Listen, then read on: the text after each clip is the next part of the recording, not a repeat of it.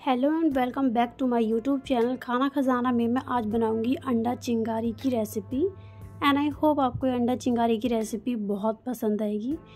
और अगर आप अंडे के लवर हैं, यानी एग लवर हैं, या फिर अगर आप अंडे बिल्कुल भी नहीं खाते, तब भी आप इसे खाने लगेंगे, क्योंकि इसमें डिफरेंट टाइप की चीज़ें और भी ऐड होंगी.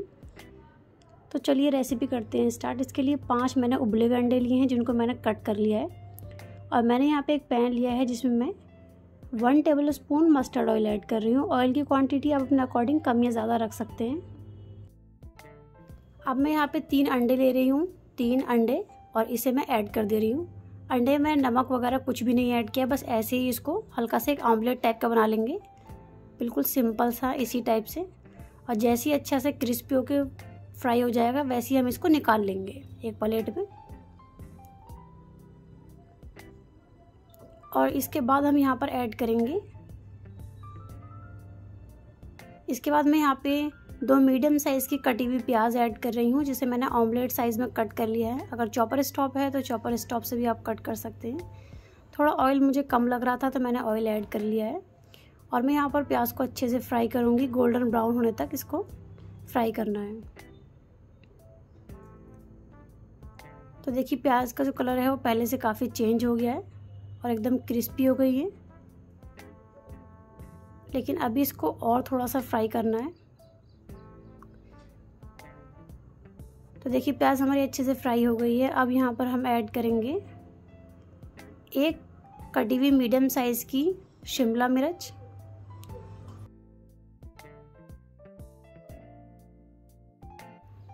और गैस की फ्लेम को मैंने मीडियम कर दिया है। अब मैंने वन टीस्पून लाल मिर्च पाउडर, हाफ़ टी स्पून हल्दी पाउडर, वन टीस्पून धनिया पाउडर और वन टीस्पून नमक और मैंने एक मीडियम साइज़ का यहाँ पे टमाटर ऐड कर दिया है। टमाटर चाहे तो आप स्किप कर सकते हैं, लेकिन अगर आपके पास अवेलेबल है तो आप इसे ज़रूर ऐड करें। और इन सारे मसालों में अच्छी तरीके से हम भून लेंगे शिमला मिर्च को और टमाटर भी एकदम अच्छे से सॉफ्ट हो जाने चाहिए। तो मैं हाई फ्लेम पे इसको पका रही हूँ।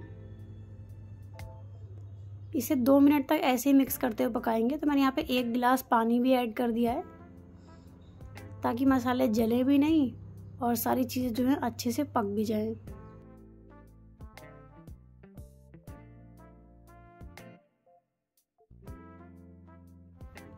और अब मैंने यहाँ पे मटर ली है। ये फ्रोज़न मटर है जो मैं यहाँ पे ऐड कर रही हूँ। ये दो कप मटर है। तो मटर जो है मुझे थोड़े ज़्यादा पसंद है तो मैंने इसलिए थोड़ी सही क्वांटिटी में ऐड किया। आप चाहे तो एक कप मटर भी ऐड कर सकते हैं। अब मैंने वही ऑमलेट ऐड किया है, जो मैंने एकदम सिंपल वाला ऑमलेट बना के तैयार किया था। एक हरी मिर्च ऐड की है और मैंने उबले हुए अंडे ऐड कर दिए हैं। और इन उबले हुए अंडे को अच्छे तरीके से मिक्स कर लेंगे और दो मिनट के लिए मीडियम फ्लेम पे मैंने इसको पका लिया है, ताकि अंडे का फ्लेवर अच्छी तरीके से सब्जियों में ऐड हो जाए और मसाला भी एकदम अच्छे तरीके से अंडे में ऐड हो जाए।